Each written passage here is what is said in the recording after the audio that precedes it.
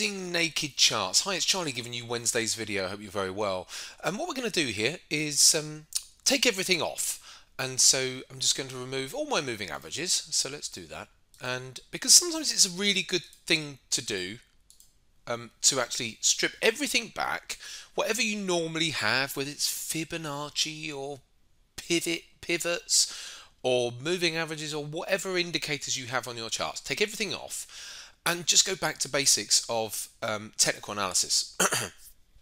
and I was doing this as a, um, a, session, one of our sessions in the day trading room yesterday, and um, and it, it can help with your overall analysis. So what I'm going to do is just squeeze all this up. So I've got a 240 minute chart here at the moment, so it can help with your overall and directional analysis and and and whatnot. So um, what I'm going to do is just um, scroll, scroll back a bit. So what I can see, identify already, is there's some highs through here.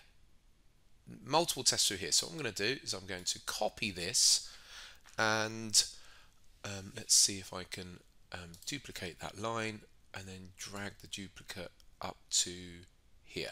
Okay, so that's a, a, a fairly, you know, typical sort of um, resistance line there that we can put in. So useful to have on my charts going into the future. We've all I've already got this other line in um, which chops through and it, it hits some highs as you can see through here and these lows through here. And gradually what you can do is you can start to build a picture as to where I mean you can put lines on all over your charts and you end up with too much. But certainly you can um, put some lines on which you think okay they're probably quite relevant these ones uh, without going too overboard. And you can always take them off once you've put them on. So I quite often put a load of lines on, then take some of them off. So I've just drawn one on here as well.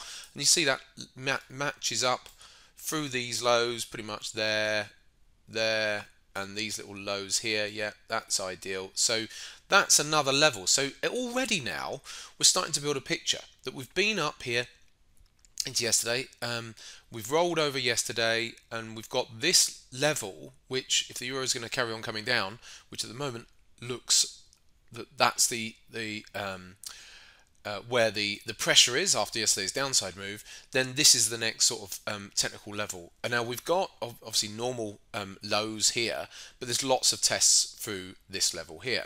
Now what I also did yesterday was put some trend lines on as well. Now those trend lines are, are already obsolete now, but when I was doing it, um, a trend line went on sort of through here.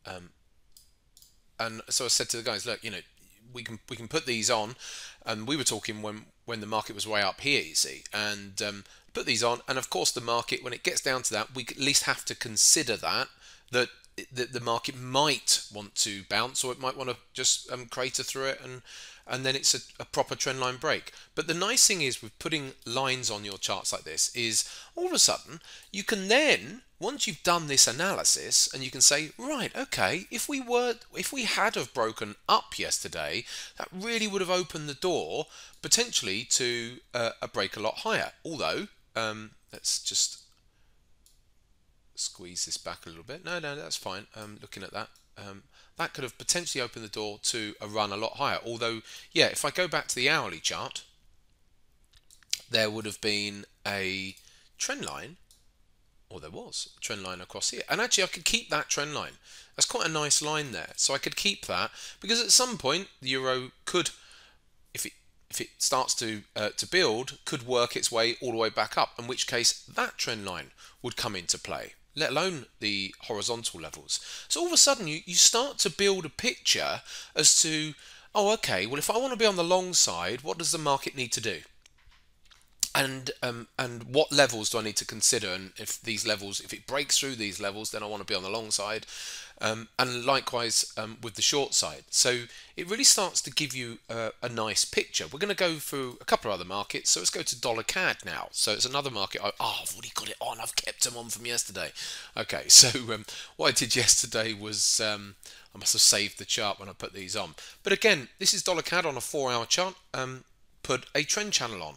And so we've bobbed along down the bottom end of the channel, but you can see now it's come into that channel. So that's useful information. I can put on a, from what I can see here, oh yeah, look at that. So I can also put on a horizontal line about there. And I'm just going to change the color of it because we can't see if it's red, can we? Let's see, is that? There we go. So we've now got this horizontal line here as well. So we can see that this dollar CAD, has been, when it came down, yes, it's moseyed on through a little bit, but it's been come down to this lower trend channel line and um, and also this horizontal line.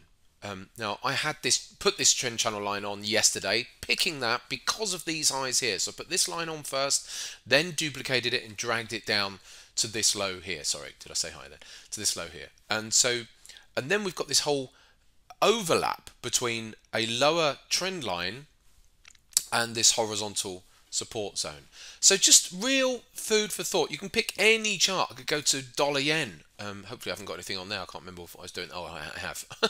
so what did I do with dollar yen yesterday? So you can see that I'd put a trend line from this peak up here going through these this peak here. So again, really important level there because if dollar yen decides to come up, that's going to be something that's really going to be key if we go for a breakout. Now I've obviously put in a horizontal line here as well where I've seen that there's been a load of touches and tests um, and you know not every move stops at the line but you're looking at clusters of price action basically and we can see that all the way through and all the way through. So we can see that this horizontal line here around about 105.80 is an important level. And then I could um, pick some other levels, no doubt, um, back down at these lows for horizontal um, support as well. But certainly, if the dollar yen was to break up, then I now know ah 1, 105.80 is a really important level. Um, if it can break through that and this trend line, whoa, then we're really opening the door to um, to upside, and then and that's when I can start making some trading decisions. So just by taking everything off it gives you a different perspective sometimes if you get caught up in your indicators or whatever you have in your charts. I know, appreciate some people don't have anything on their charts, and um, but it's just a good way to do your analysis, and then you can then add on your fibs and your whatnot that you might be using and your um, whatever technical analysis it is, because it doesn't really matter uh, what your technical analysis is. Um, it's a trading is a very personal journey. It's about what works for you. Um, but one thing that we can do is um, go to basics sometimes and literally look at true support resistance levels and um, and use that to gauge, get some analysis so we can actually formulate a plan. And then once we have a plan, I could very easily create a plan now on this dollar yen and say, right, I can see those resistance levels there. If the dollar yen was to breach those, I'd want to be on the long side. There you go. And then I'm starting to build a plan um, just on the naked chart there. I hope that's of use today. Um, I'll be back at the end of the week for another video. Take care for now.